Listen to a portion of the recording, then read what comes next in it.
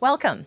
I am Dr. Erika Beck, president of California State University Northridge, also known as CSUN.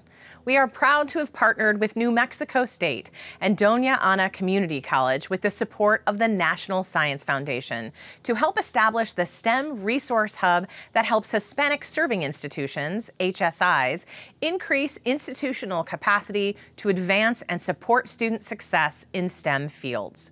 In addition to recruiting, retaining, and graduating students interested in STEM professions, the hub provides grantsmanship training, increases multicultural awareness, and inclusive practices, and provides evidence-based pedagogy resources to help student success.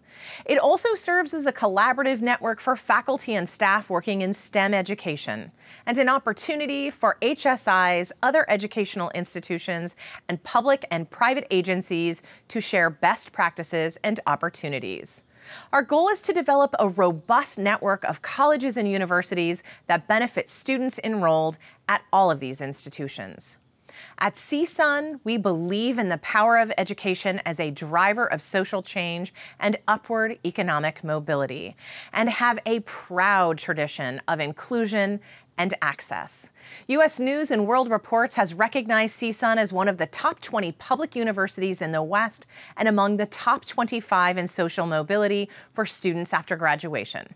In addition, CSUN's learning environment was ranked by the Wall Street Journal among the most diverse in the nation.